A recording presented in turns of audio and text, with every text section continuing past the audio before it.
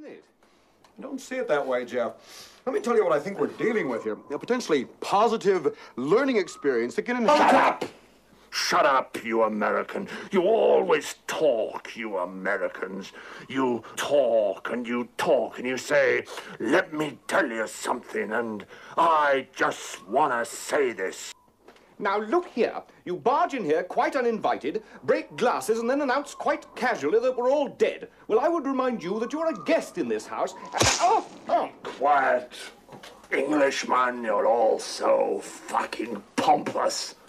None of you have got any balls